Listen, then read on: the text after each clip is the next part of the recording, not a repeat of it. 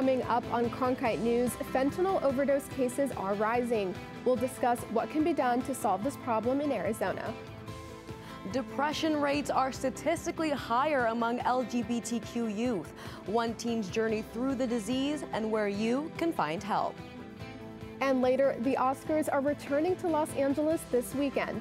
We'll take a look at the financial impacts the award show has on that city. Cronkite News starts now. Good evening and welcome to Cronkite News on Arizona PBS. I'm Fatma Abed. And I'm Raven Payne. Thank you for joining us. Today, the Arizona House passed a ban on abortions after 15 weeks of pregnancy. The bill is now headed to Governor Doug Ducey's desk for his signature. The House voted along party lines on the bill, which explicitly does not ban abortion outright. The bill has no exceptions for rape, incest, or for a medical emergency in which the mother's life is at risk. This measure mirrors the Mississippi law that's now before the U.S. Supreme Court. Those against the bill say it's a family matter when it comes to abortion, while groups in support say the bills look after the mother's best interest. Today was, um, you know, a darker day for Arizona. I think it was a copycat of some of the more draconian measures we've seen um, passing around the country as they try to attack women's reproductive rights. So, this is a reasonable measure to restrict abortion after 15 weeks. It also protects the health and safety of the mother. Um, the later in pregnancy that a woman has an abortion, the greater increased risk to her health and well being. So, Senate Bill 1164 is a win win for unborn children and their mothers. Governor Ducey has signed every piece of abortion legislation that has passed his desk since he took office. Also at the state legislature, the House passed a bill that would prohibit gender reassignment surgery.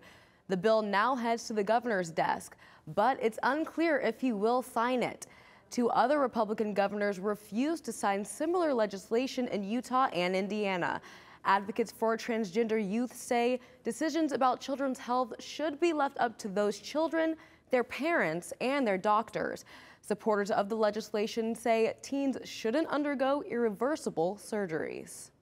LGBTQ teens are more likely to experience symptoms of depression, according to health experts. Cronkite News reporter Liz Flores spoke with one young man who is opening up about his own struggles in order to help others. His childhood was tough. This young person says he was bullied because of sexual orientation, but he didn't give up fighting for who he is. Carlos Maldonado was six years old when he realized he was not like his classmates. Like I could sit there and giggle and laugh at the girl, but when I would giggle and laugh at the boy, I would get butterflies in my stomach. He remembers that his peers did not accept him and bullied him to the point where he felt alone. There was always some kids that always knocked me down. They would always call me names. I just making fun of the way I dressed, just because I just was out of, always thought out of the box the way I dressed.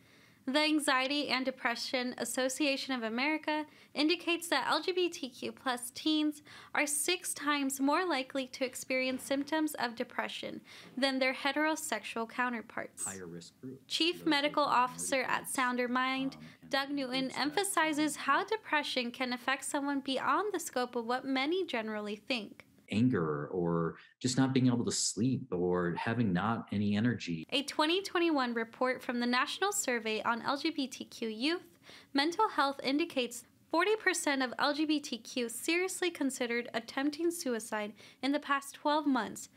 Newton encourages those with depression or other mental illnesses to not suffer in silence. Making sure that honor yourself and seek the help because it is uh, it is out there and these are very treatable. And it's really good to understand for many people that it is on the increase and unfortunately is very common. Mental health expert says that it's important for people suffering from any mental illness to find a provider that understands the connection between sexual orientation and mental health. Maldonado was able to recover from depression, and now at 22, he says he is very happy with who he is. I was able to stand up for myself. Everybody knew who I was, and Exactly. With his story, Maldonado hopes to send a message to people who may be suffering from depression or other conditions that there is help available. In the newsroom, Liz Flores, Cronkite News. Today marked the fourth day of confirmation hearings for U.S. Supreme Court nominee Ketanji Brown Jackson. If appointed, Jackson will be the first public defender to become a Supreme Court justice in three decades. Throughout the hearings, Jackson described her judicial neutrality and methodology. The hearings also included some heated exchanges. Republican senators alleged that Jackson was soft on crime and had questions related to the judge's previous rulings on child pornography cases. Some senators also questioned her opinions on critical race theory. Despite the scrutiny she faced, Jackson was still able to draw focus towards how she hopes to inspire others in her possible new role. I am here standing on the shoulders of generations of Americans who never had anything close to this kind of opportunity.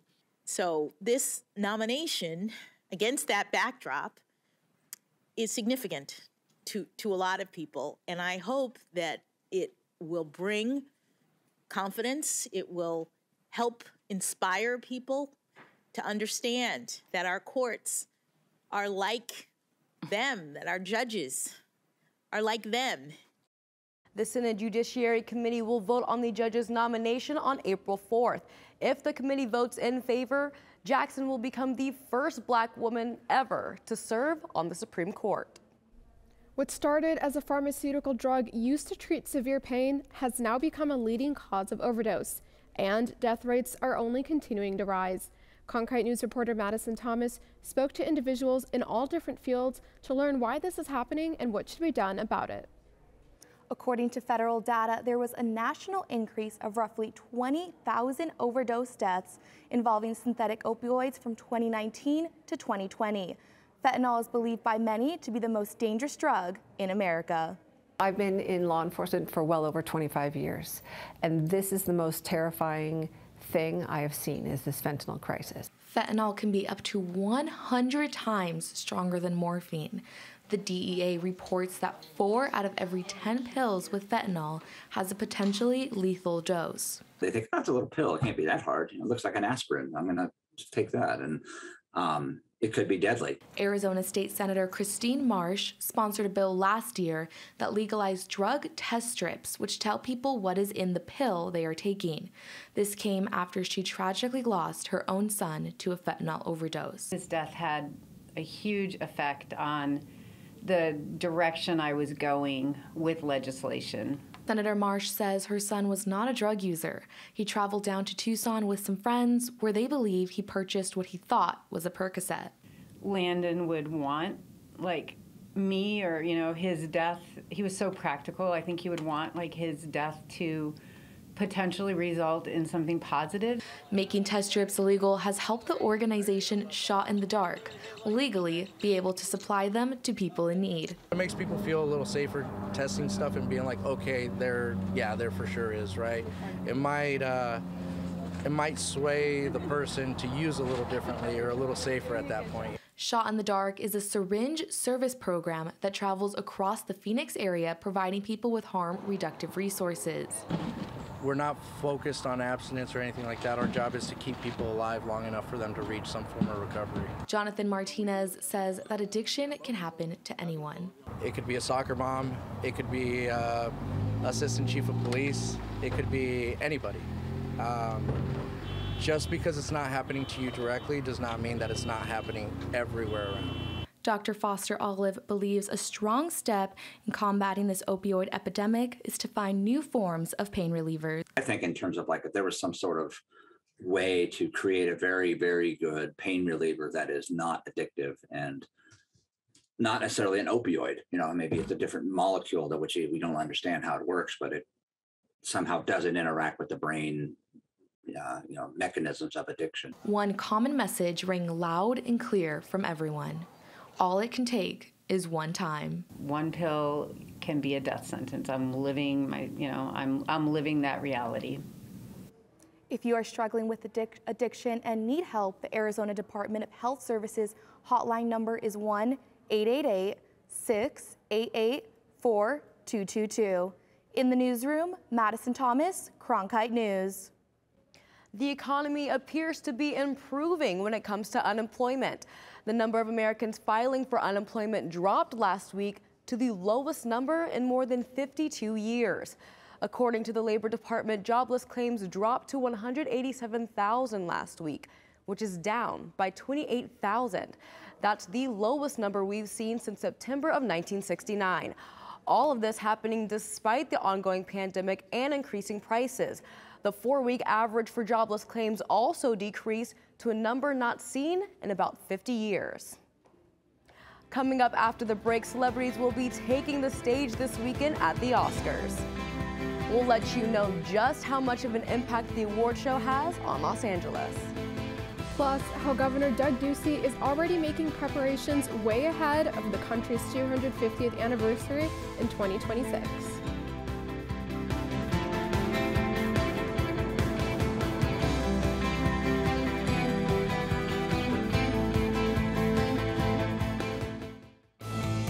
Get from Washington Week that you will not get anywhere else are the best and the brightest reporters from different media companies, and they're able to have a real conversation about things that are happening in Washington and around the country.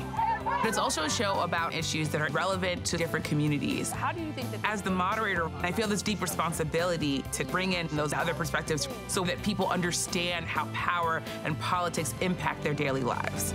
Friday nights at 7 on Arizona PBS.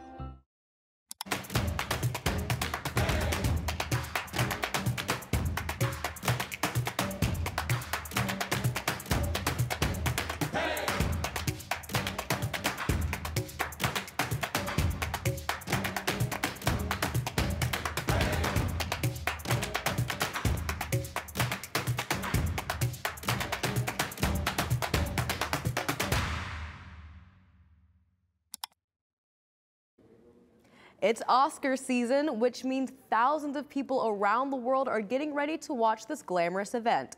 But how much is actually spent on making it happen? Karen Marroquin is in Los Angeles to explain. From the red carpet to the statuettes and the glitz and glam, every year millions of dollars are spent to stage and air the Oscars. According to WalletHub, this year the ceremony will cost $42.9 million. Vincent Brook, retired media studies lecturer at the University of California, Los Angeles, tells us why. The Academy Awards has prestige. You know, it's a major part of Hollywood history. It Began in 1929 and at its height, at its peak, it was bigger than the Super Bowl by a big margin. Nearly $25,000 are spent just on the 50,000 square feet of red carpet the stars walk across, and $400 are spent on each 24 karat gold plated statuette. But that's not the end of it. Get this an Oscars goodie bag given to nominees is valued at more than $200,000, and the cost of an A list actress's ensemble can go up to $10 million. Here at the Dolby Theater, preparations are underway, and workers will spend nearly 900 hours installing this red carpet behind me before Sunday's event. And all that hard work pays off. LA's annual economic boost from this event is estimated to top $130 million. Macy Todd, assistant professor in the English department and director of film studies at SUNY Buffalo State, says this number could potentially increase. I think the more that the movie industry is able to keep pace with the rest of media and the kind of inclusive, diverse perspectives that we're seeing, especially through streaming, the better that they're going to perform financially. So, whether you're recording the show or watching it in real time, just know you're witnessing one of the most expensive and glamorous events of the year. In Los Angeles, Karen Marroquin, Cronkite News. The Oscars are set to take place this Sunday, March 27th at 5 p.m. Mountain Standard Time at the Dolby Theater in Hollywood. The United States' 250th anniversary isn't until 2026. It may seem like a long time away, but preparations are already being made right here in the Valley, way ahead of the celebration. Yesterday, Governor Doug Ducey signed into law a bill that established the, Air the Arizona America 250 Commission. That commission will be tasked with helping plan the celebration. Governor Ducey said this is aimed not only at celebrating the founding of our country, but also to help with education. He said this will be a quote, once in a lifetime experience for Arizonans.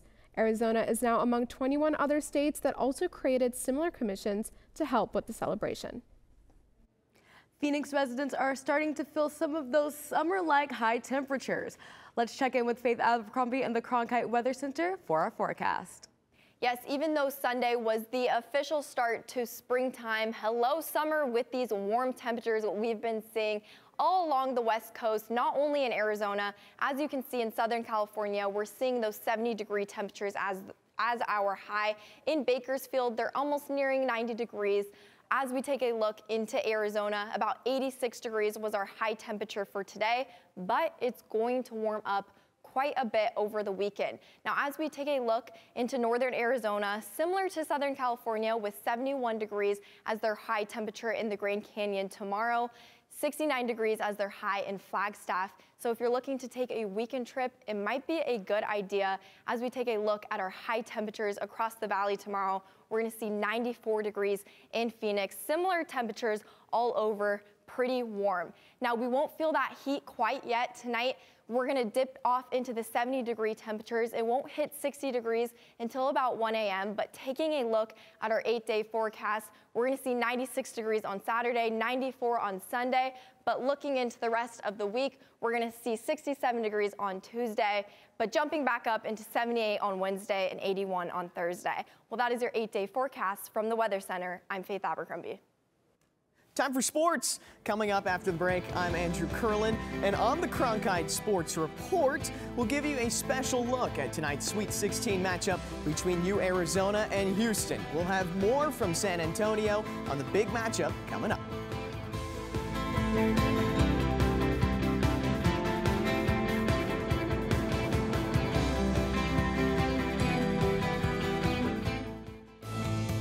What get from Washington Week that you will not get anywhere else are the best and the brightest reporters from different media companies, and they're able to have a real conversation about things that are happening in Washington and around the country. But it's also a show about issues that are relevant to different communities. How do you think that? As the moderator, I feel this deep responsibility to bring in those other perspectives so that people understand how power and politics impact their daily lives. Friday nights at 7 on Arizona PBS.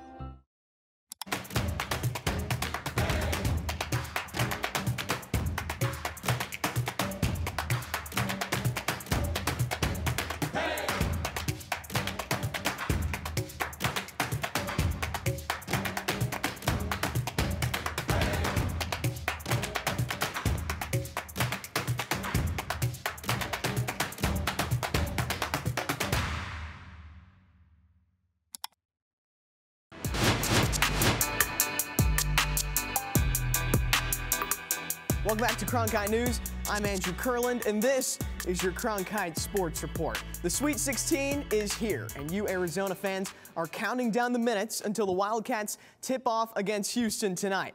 Cronkite News reporter Colt Amadova is in San Antonio with more of the top seeds in probable run. To start the season, Arizona was unranked, picked to finish fourth in the Pac 12, and we're beginning a new era under first year head coach Tommy Lloyd. Now, would you look at that in the second weekend of March Madness? Arizona is in the Sweet 16, aiming to keep this remarkable journey going. Right now, it's, uh, it's win or go home, so there's no pressure. Everybody's confident they can win, so we just gotta play our game and uh, follow the instruction the coaches have, follow the game plan, and believe in ourselves play together as a team, and I don't think there's any pressure. The Cats have fed off the resilience of sophomore guard Kerr Kriisa, who came off the bench in Sunday's overtime victory against TCU. Kriisa is still nursing an ankle injury from the Pac 12 tournament, but going into the South Regional semifinal against Houston, Coach Lloyd hopes to have his floor general and spark plug ready to go. Kerr's a lot of bark and, and sometimes a little bite, you know, and uh, and obviously you guys see the personality and the antics, and and and, and, he's an emotional player and he's having fun is, is what he's doing. Uh, he's easy to coach. I mean, he listens, he gives you eye contact, he's got a high IQ. Um, I, I haven't had any issues with him you know, coaching wise all year. And, and, and, and I'll roll with him every day of the week. His ankle continues to make progress. And, you know, we just, you know, we still take it on a day by day basis. My ankle is doing better. Uh, I'm happy we got through, through the first two, uh, two games. Uh, gave me extra days to, to keep doing rehab, uh, let my ankle, you know, come better. And I feel like I, I have benefited a lot from the past two, three days. Tonight will be a battle between Houston's defense that has held opponents to 37% shooting from the field, which is tops in the nation, and Arizona's high flying offense that has scored 84 points per game. Expect a lot of Cougar fans in the stands tonight as Houston is only a 3-hour drive away from AT&T Center right behind me, but you already know that the Wildcat faithful that's going to make the trip from Tucson is going to bring it as well. Expect a sea of red in the stands tonight in San Antonio at the Sweet 16, Colt Almadova, Cronkite News. Here's some sweet numbers for the Wildcats. They are 2-0 in San Antonio, 3-0 playing five seeds, 3-0 playing on March 24th, and 8-0 on Thursdays. Could be random or the numbers could be on their side. We'll see. The Suns are playing in Denver on the second night of back-to-back road games. And how about this? Chris Paul is listed as probable. Last night, they pushed their win streak to six games over the Timberwolves, backed by a career-high 35 points from DeAndre Ayton. I told the guys, you know, 59 wins is is pretty cool to get the um, division. Um, is pretty cool, and, and we have a a motto of celebrating everything because there's a lot of people that sacrifice and work hard so that we can enjoy these moments. For the first time since the pandemic, the Findlay Toyota Center in Prescott Valley welcomed back the Harlem Globetrotters. Cronkite News reporter Gareth Kwok takes a look at the changing sports and entertainment scene at the arena.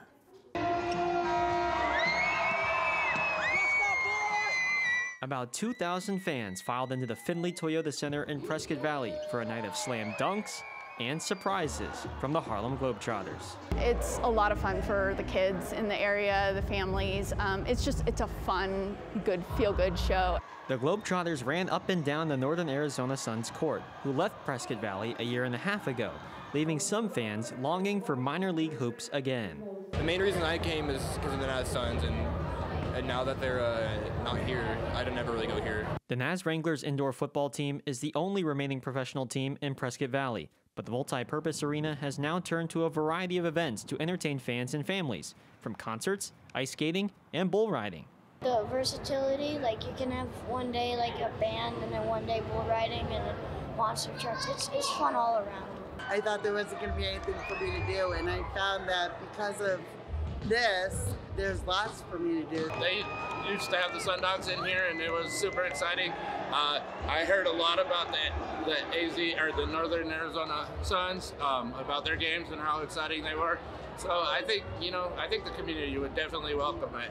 While fans hope for another professional team, the arena celebrated its 15th birthday back in November, and the support has stayed strong throughout everybody is so excited to be a part of anything here, and um, all the local businesses are really excited about all the attention that we have. So it's exciting, and you know, instead of begging people to come, everybody's actually already excited.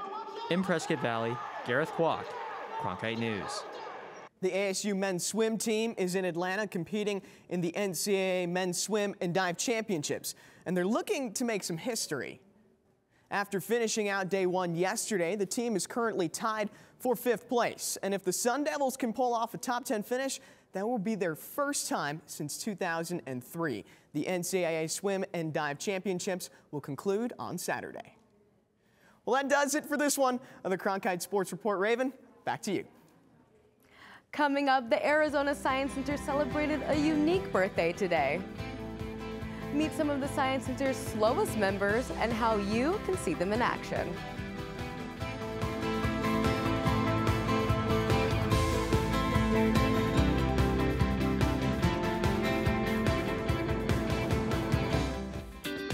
Your favorite member benefit is getting better and bigger. This is wonderful. Over the next year, Passport is adding new shows and doubling the number of episodes for you to stream. They've give us all that they've got. From your favorite cooking and travel series. Even the stairs are breathtaking. To history specials and award winning documentaries. Better and bigger. That really is the fun part. Stream on any device with Passport on the PBS Video app.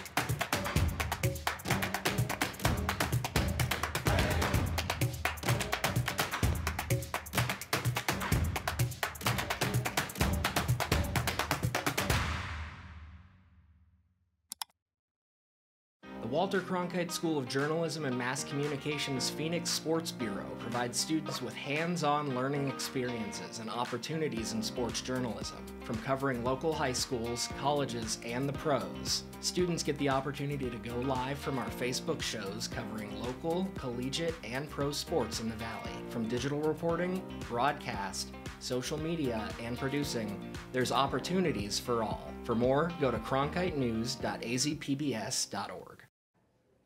It's looking to be a slow but exciting day at the Arizona Science Center, where today is Sash the Sloth's birthday. Animal care specialist presented her with a special birthday treat at a presentation this afternoon. Sash is a new addition to the survival of the slowest exhibit at the Science Center, where species living on the laid back side of their life use their disadvantages to survive. The exhibit explores the lives of not just sloths, but also chameleons, snakes, and iguanas, among many other species. The exhibit is here until August 7, 2022, and you can get your tickets online at azscience.org. That's it for Cronkite News tonight. Thanks so much for joining us. For top Arizona stories anytime, go to cronkitenews.azpbs.org.